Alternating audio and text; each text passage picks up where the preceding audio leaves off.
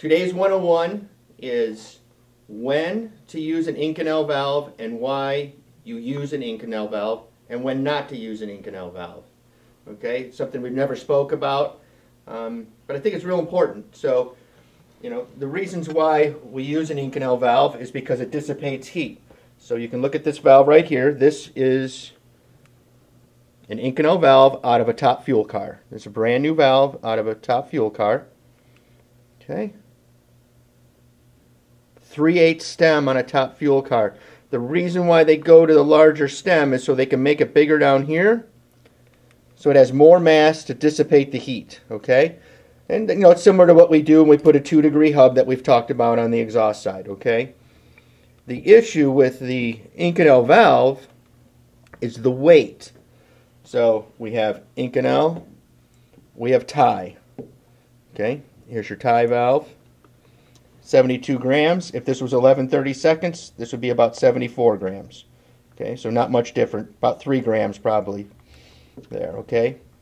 Now you have your Inconel. 120 to 72. An Inconel valve from a tie valve will always weigh 60 to 70% more. The problem is when you're refining valve train and everything, you're you want to you want to find like 2% of valve weight is, is, is great to find, 3% of valve weight. But when you're dealing with 60 to 70% more, there's nothing you can do. And this has a huge dish in it, and it still weighs at 120 grams. Okay, so that's that's where it hurts you. Okay, but Inconel, where it really pays to use it. Boats, boats, excellent. You know, if you have a if you have a power adder on a boat, or if you're at 6,500 on the lake the whole day, you know, you put an Inconel exhaust valve in it, it will last. Okay, you cannot run a tie valve for that application. Okay. The other place we use them is guys that are running um, gasoline with power adders, superchargers, things like that. It creates more heat than methanol. So that's always a good place to use an Inconel valve, okay? Now we have a lot of nitrous guys that always, that still want to use an Inconel valve.